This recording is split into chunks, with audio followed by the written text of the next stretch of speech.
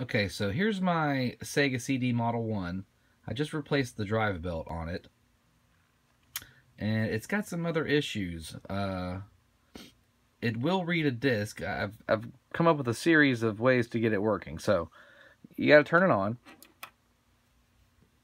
And it comes on.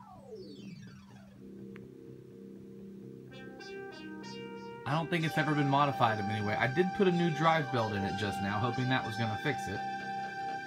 Uh, you know, one of those. So press reset to open the CD tray. So we're to press reset. And it opens. But it's to close real quick. I'm to put the CD in there just now, but it's to close itself by itself. It's got some closing issues.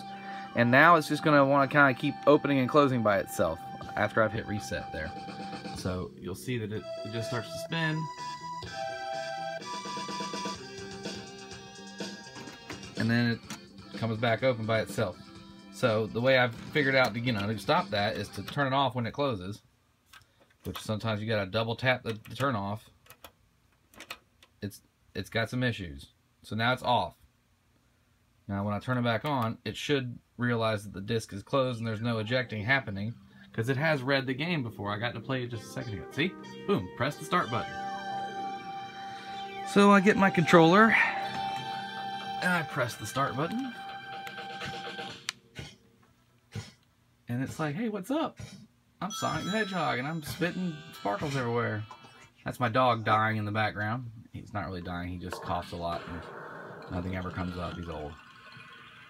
And it's reading the game. I put Sol-Feace in there. Wolf Team. Wolf Team.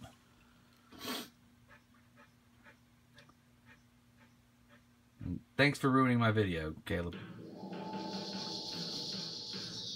He's like, I don't give a fuck about your video, man. I'm old. Anyway, uh, so it's reading it. In the distant future, approximately 300. I'll hit start. I'm just going to get through all this. It lets me start. Makes a couple chunky noises down there. That's my dog again. Watch this. Nothing.